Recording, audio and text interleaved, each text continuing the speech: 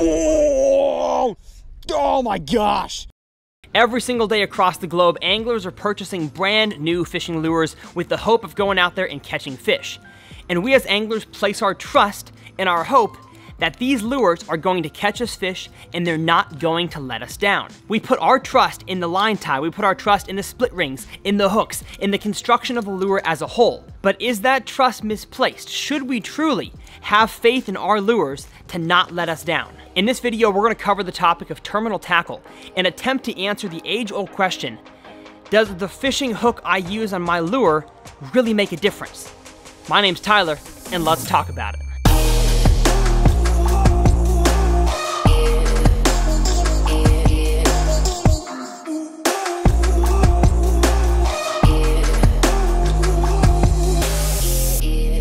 Well, how's it going, everybody, and welcome back to Tyler's Reel Fishing. My goal on this channel is to help you guys become better bass anglers and catch more fish no matter where you live in the country and no matter what species of bass you are fishing for. Whether you're a bank beater, a bass boat angler, or anything in between, my videos are for you guys. So if that sounds like something you're interested in, hit that subscribe button to join Team TRF. If y'all have been tuning in to the last few videos, you've probably seen that we are doing a bass fishing giveaway trip with me and the chance of winning an $80,000 bass boat. So if that piques your interest, uh, an all expenses paid trip with Tyler, and maybe an $80,000 bass boat, how the heck do I win this? It is a charity raffle to raise money for muscular dystrophy. I have partnered with a uh, nonprofit organization called Bass for Beckers that raises money to send kids with muscular dystrophy to camp and to raise money for MD research.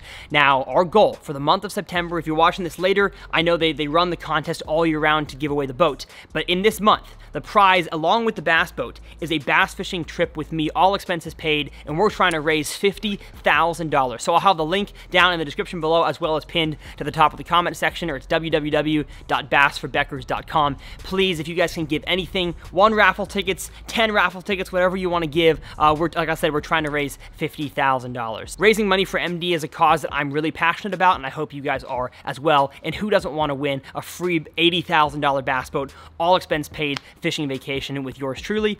At least maybe some of you guys do. Again, I will leave that link down in the video description below if you guys want to give. But without further ado, let's hop into talking about terminal tackle. Every single fishing lure that we purchase has some form of terminal tackle on it. My definition of terminal tackle is anything that is kind of the, the basic necessities on a lure. So you need a weight to it of some kind. You need a hook. Sometimes you need, uh, I, would, I would even call glitter or paint terminal tackle. These are just things that you need on your lure to catch fish. Without terminal tackle, you're not gonna catch any fish. And when you buy a lure like this one right here, it comes with a certain quality of terminal tackle. So a certain quality of hook, certain quality of split rings, and of course, the cheaper your lures are, more than likely, the less quality you're going to find in that terminal tackle. And so that's the, kind of the question we're gonna cover today, and we're gonna attempt to answer, is does the terminal tackle really matter? For the majority of anglers, is it worth spending money to upgrade your hooks? To go instead of lead weight, use tungsten weight. Instead of monofilament, use fluorocarbon. Is it really worth it to upgrade your terminal tackle, uh, and will it really help you catch more fish in your bass fishing expeditions? That's the question we're gonna answer. But to begin this answering of the question, I'm gonna tell a story and I'm gonna call it the tale of two anglers. So stick with me, this story has a purpose and it will set up exactly what we're going to talk about throughout the rest of this video. So the tale of two anglers goes as such. It is the summer of 2016. An angler is excited to go out there and fish a body of water and they have heard this body of water has big bass living in it. The lake record is 17 pounds, and this angler is on a quest to break their PB, which at the time is 8.9 pounds. So as this angler is rigging up his rods and reels to get ready for tomorrow's expedition, he thinks to himself, you know what, if the lake record in this, in this big pond is 17 pounds and my PB is only 8.9, I'm gonna upgrade my terminal tackle a little bit. So, they take their standard topwater walking bait that comes with standard hooks, standard split ring, and they increase the quality of those. They increase the strength of the split ring, and they increase both the size, the strength, and the sharpness of the treble hooks, just in case one of those big old lunker bass that's lurking out there in the depths wants to come up and eat that top water. This angler does not want to blow the opportunity if it presents itself. So he does that, upgrades the terminal tackle on this topwater walking bait, and goes to sleep ready to catch a new PB. Well, what ends up happening is that angler gets up, fishes all morning long, catches a few nice fish, but doesn't really have a stellar day, and decides to take one more cast, and turns the camera off on his chest. On that cast, over a long point, as a matter of fact, one of the biggest points in the lake, a giant bass explodes on that topwater walking bait. The fight ensues, that angler gets the bass onto the bank, and that is a brand new PB at 9.85 pounds. The fish was giant, the fight was incredibly hard, but yet, the end result was a success and a brand new giant PB for this angler. Now flash forward with me to the summer of 2021. Another angler in Florida has heard of a lake that has the potential to catch giant bass. He's heard of his friends catching 8, 9, 10, 11, and 12 pound bass out of this lake and has seen such by others on social media. So this angler decides to take a quick trip out there for the afternoon and evening to try to catch a brand new PB bass. But in the hustle and bustle of life and in the desire to save as much sunlight and of course fishing time as possible, this angler heads out to the lake and doesn't quite prepare as well as Angler 1 did. So Angler 2 digs through his tackle box and pulls out a brand new topwater walking bait basically just out of the package, replaces the topwater frog that he's been fishing with all day with his topwater walking bait, and starts fishing. Only a few casts in, an absolute explosion happens on Angler 2's topwater walking bait, and the fight ensues. This giant bass is fighting hard, trying everything it can to get stuck in that grass and get the lure out of its mouth, and Angler 2 is fighting just as hard to get that fish into the boat. And then, tragedy strikes. This giant bass jumps and is every bit of 10 pounds. But as the bass is landing back in the water, the lure breaks free. Angler 2 is absolutely crushed and falls on the boat deck, making all sorts of loud, uncontrollable noises of disappointment and despair. How could this happen, Angler 2 yells. Everything seemed perfect. And so he reels his topwater in, only to find that his lure let him down. Not only was one of the treble hooks completely bent out, another treble hook and split ring were completely missing off his topwater bait. And in that moment, angler number two realized there was something he could have done to land that fish. And that was upgrade his treble hooks and take the time to make sure everything was ready for a big fish, which inevitably came. Now, some of y'all may remember that angler number one is in fact me. That is my story on how I caught my current PB bass on a topwater walking bait. Now, the catch to this story is that I lied to y'all. Angler number two is also me. And the story of my terminal tackle failing me and a PB lost is also true. In that moment, I decided sometime this year, I'm going to film a video explaining when, where, why, and how I decide to change my terminal tackle, and I hope this is going to be an encouragement video for you guys to do the same. Now, our first topic to discuss is the fact that every single fishing lure, like I mentioned, comes with terminal tackle, but not all of the terminal tackle on these lures is of the highest quality. And just from a business perspective, that makes sense.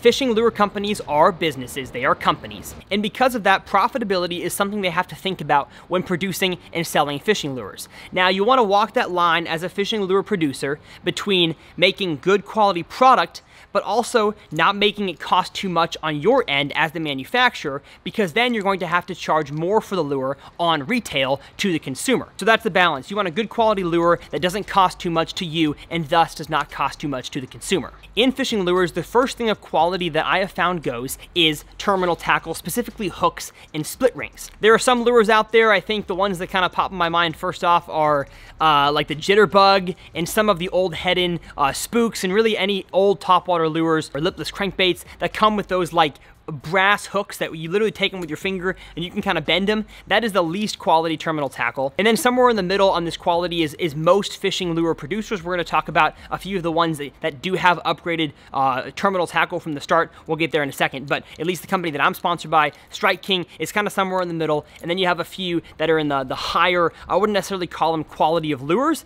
but they do have a higher quality product when it comes to terminal tackle, uh, a stronger hook, stronger split rings that do not require any kind of upgrade upgrades to them. You can fish them just like they are, just out of the box.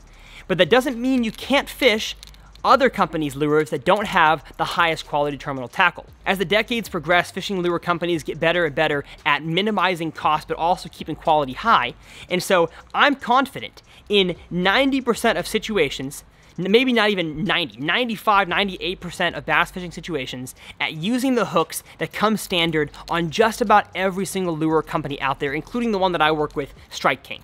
The hooks that come with Strike King are strong black nickel hooks. They've gotten better, a lot better over the last few years compared to what they were five, ten years ago on most Strike King lures. I'm proud to say that.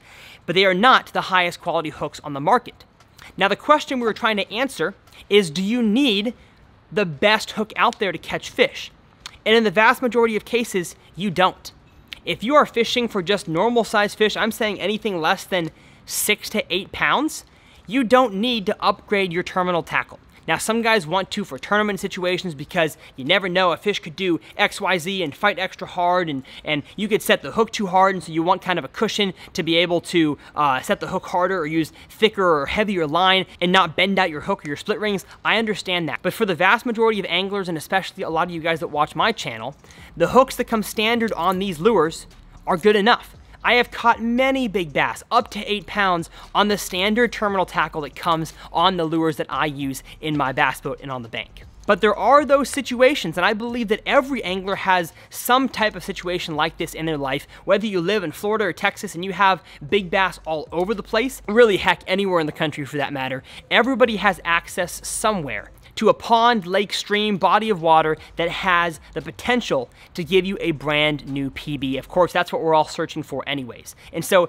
my plea to you guys in this video is that if you are searching for your new PB and you want the best possibility of hooking that fish, fighting that fish and getting it back to you in your hand for a picture, is going to be upgrading your terminal tackle. And so I'm gonna talk about some of my favorite terminal tackle upgrades, which are completely sponsor free. None of these hooks I got for free or even got a discount on. I went to Bass Pro Shops and I bought these hooks for myself. The first piece of terminal tackle that I love upgrading is my line. Now, luckily, I work with an amazing line company, Seaguar, and I guess I take that back when I said it wasn't going to be anything sponsored. I do work with Seaguar, but I bought their line for like eight years of my life before I worked with them for the past two. So I have confidence telling you guys Seaguar line is some of the best out there.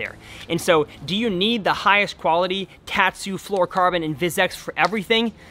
you really don't. You can get by with red label, you can get by with a lot of different types of fishing lines, but if you are in the chase, in the pursuit of catching a big bass or maybe a tournament situation, and you want nothing to go wrong, you want the best chance of catching and landing those fish, that's gonna be upgrading your quality of line. The second piece of terminal tackle worth upgrading, especially when it comes to hard baits, I'm talking jerk baits, crank baits, and topwater baits, that is going to be your split rings. Most of the split rings that come on companies' lures are not really good. If you take the lure in one pair of pliers and the treble hook in the other and pull them apart, you can actually flex and oftentimes completely bend out that split ring. So what split ring do I like to use when I'm switching out my terminal tackle when targeting big bass or in a very important fishing scenario? That's going to be the VMC stainless steel split ring. Really any, any stainless steel split ring. There are thicker, more high quality black nickel split rings, but I just have a lot of confidence in stainless steel. Yes, they are a little bit heavier, so if you throw them on a jerk bait, you may have to downsize the size of your split ring or just go with a more high quality split ring than comes on most jerk baits. Uh, but when it comes to crankbaits and top waters, I don't really care about weight all that often because if it's crankbait, I want it to get down there to the bottom and grind on the bottom. And top waters are usually buoyant enough to deal with the tiny weight difference differential of, uh, of, of stainless steel split rings as opposed to black nickel. We all know stainless steel is incredibly strong and that's why I have confidence in stainless steel split rings. The second piece of terminal tackle to think about buying a higher quality of to upgrade is going to be your worm hook. I'm talking your straight shank worm hook, your flippin' worm hook, your EWG, you know, wide gap worm hook. And the reason for that is because when I was starting bass fishing, I would go to Bass Pro or Tackle Warehouse and I would buy like the Bass Pro brand hooks and it, they come in like a pack of 36, and they do the job. I caught plenty of fish on them. But I noticed as my hook set got stronger and as I caught bigger fish and started using heavier pound tests of line, that hook, which you can you can go to Bass Pro and, and test it out right now for yourself, you can actually flex that hook. And so whether it's buying a, uh, a super line EWG like Gamakatsu makes, a thicker uh, gauge wire hook, or just a higher quality hook with a sharper point, a more uh, well-built, you know, durability-wise um, barb to it, uh, a stronger eye that maybe is, is fully molded so you're, you're not, your line can't come slipping out of that uh, line tie, I think upgrading your wide gap hook, upgrading your worm hook is definitely worth it. And I will have all of my favorite terminal tackle upgrades for you guys down in the video description below. As always, my tackle is linked down there. Please shop for your tackle using those links. It helps me out a ton make affiliate income. Now moving on to our last piece of terminal tackle and quite possibly the most important one, for making sure that you land those big bass is going to be upgrading your oh, upgrading your treble hooks. There's two main styles of treble hook. There is a wide gap treble hook and a straight shank treble hook. What that means, I'll have two B-roll shots here. A wide gap treble hook kind of goes uh, down from the shank, comes back around, and the points angle back in like this. Those are meant for fish that are eating your lures so well, they're getting the whole thing in their mouths that when those treble hooks hook them, it hooks them very well and they will not get off. So when I talk about square bill crankbaits, lipless crankbaits, heck, even jerkbaits or other crankbaits and topwaters, when those fish, let's say the early spring, are really chasing it down, choking your lures, that's the type of treble hook you want to use. But that is not the majority of the case for me. Most of my treble hooked hard baits have a straight shank treble hook on them, and that is where the, lure, the hook comes down from the middle, it makes the bend at the bottom, and it goes straight back up. There's no bending in this way, back toward the lure or back toward the eye of the hook. It goes straight up. And that is the best for scenarios when fish, maybe you're not eating the bait that well. They're kind of slapping at it, maybe they're, they're, they're mouthing at the bait a little bit, and you want the best chance of honestly, snagging the fish either in the mouth or on the side of the head. That is when I use the original straight shank treble hooks. Now, a few lure companies do come standard with higher quality hooks than just your regular old black nickel hooks. I know that Berkley's hard baits come with their brand new treble hooks and in terminal tackle, I believe it's called the Fusion hook. And I know that Bill Lewis has a few, I think they're MR6, like Mark Daniels Jr. crankbaits, and the lipless crankbaits, all the rattle traps, all come with triple grip hooks. The problem is with that, like I said, I don't use the round, the uh, the wide gap triple grip hooks for the majority of the time I'm fishing throughout the year, and so I would be changing those out as soon as I got them to round bend treble hooks or straight shank treble hooks. And because they come standard with higher quality terminal tackle, they're more expensive lures. If you look at the average Strike King or any other uh, you know name brand out there that doesn't come with the uh, upgraded terminal tackle, you look at the price of those compared to the price of the ones that have upgraded terminals, you're gonna find usually a one to three dollar, sometimes more difference in the price of those two lures, which in my mind doesn't really make any sense because I'm just trying to do the math in my head. I think it makes more sense to do it this way. In any case, here are my two favorite models of treble hooks in both the straight shank and the, uh, the wide gap. When it comes to the wide gap, for those fish that are chomping on your lures, I don't think there's a better treble hook in both quality of construction, sharpness, durability, and the how long it is from the eye of the treble hook down to where the hooks start to point up. I think the ratio is perfect on this hook, and that is the Mustad KVD Elite uh, triple grip treble hook specifically in size 4 for most of your lures out there. Most of your square bills, your jerkbaits, your topwaters are going to be a size 4. I will have a list down below of the proper hook sizes that match with certain lures because I know that when you buy a lure from the store, it doesn't usually tell you what size hook comes on that lure. So if you're confused, well, I have this topwater lure, what size treble hook do I need to upgrade it? I will have the list of those in kind of general terms listed in the video description. And when it comes to the straight shank or round bend trebles, I love the Owner ST series of treble hooks, whether it's the ST36 size 2 or the ST36 size 6. The size 6 are ones that are used on jerkbaits, smaller jerkbaits, smaller crankbaits, and kind of poppers. And then the size 2, you could go size 4 as well. Um, I just only have these two right here. Size 2 is for your deep crankbaits. I'm hardly ever using triple grips, those, those wide gap treble hooks, hardly ever using those on my deep crankbaits. Usually this is for my bigger top waters and my deep crankbaits. I have so much confidence in the sharpness, durability, and like I said, ratio, just like the Mustads, of these owners right here. So in my opinion, these are the only two hooks you need. I haven't used Hayabusa, I haven't used, I have used some of Berkley. They're okay, I don't think they're any better than these right here, especially for the price. And I just really think these are the two best ones out there. Anybody in the comments is welcome to disagree with me. And of course, I, like I said, don't have a hook sponsor, so I'm willing to go out there and try any type of treble hook. I know there's some really cool ones out there with unique designs or, you know, the barb facing outward, that kind of thing. But these are the two that I think are best for any upgrading of your terminal tackle situation. So that is gonna do it for the instructional portion of this video. Let's hop back on the water and show you guys a few fish catches from a day in Minnesota with an absolutely insane uh, sexy dog bite bite, topwater walking bait with some giant fish, at least for Minnesota standards, three to four and a half pound largemouth bass that annihilated my lures and thus made it a necessity because of how hard they fought in, in my hook set with the braided line, made it a necessity to have that terminal tackle upgraded. And of course, I land every single one of these fish. So enjoy this awesome topwater fishing content. Hit that subscribe button. We'll see you guys out on the water.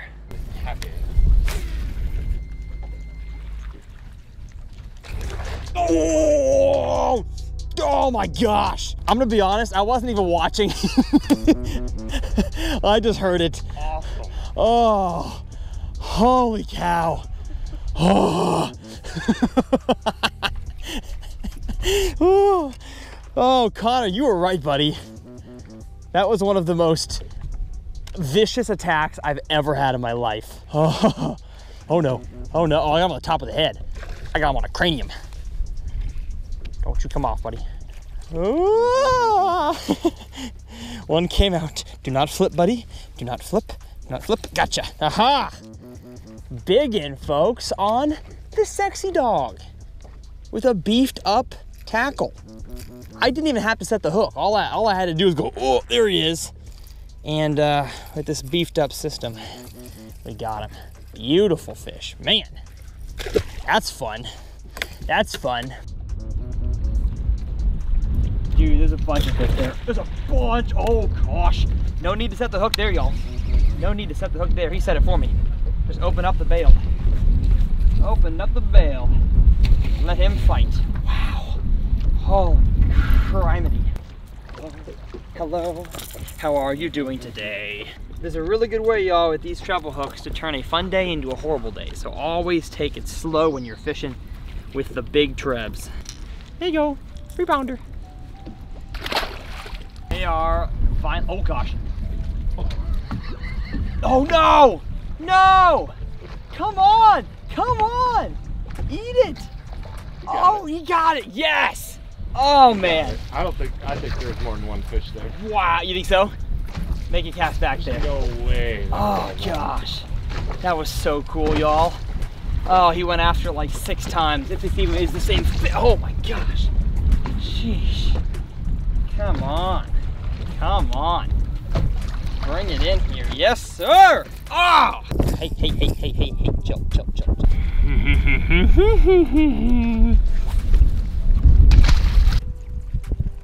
Is that your buddy? Yeah.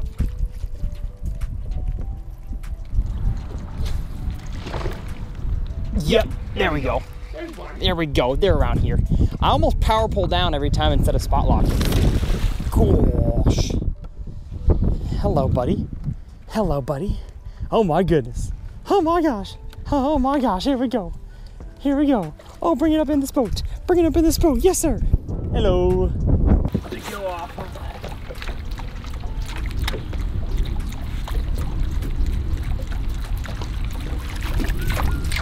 I'm surprised.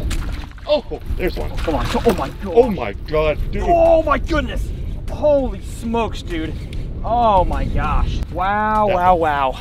How's it going, everybody? And welcome back to TRF. That thing came out of the water like a shark about four times. Ooh. Not like it's that big. My name's Tyler, and let's talk about it. That fish looked way bigger. Way bigger. Sheesh. Oh, that's a clump right there. Oh gosh! Oh my goodness! Oh, we got Connor in the back's got one too. So y'all can get out there and catch yourselves a new PB. Look at this. That right there, folks, is a chunky dunk on the big topwater, one of the lures we're gonna talk about in today's episode. What does it take to catch the big bass like this? My name's Tyler, and let's talk about it. Better. Oh, I'm sorry. I got your fish. I'm sorry. Connor missed one back there and I threw back in there and got him. Oh, this is crazy, y'all. I apologize for the wind. My GoPro keeps overheating, so windy audio it is. Bring it up in here. You are not very big. Smallest one in a while. Oh, and this is a great example of why you do not grab a fish like this in the mouth because they are shakers, movers and shakers. So you grab them like this, use pliers. Thank you, buddy. Going against the grain, folks. Throwing the big ones.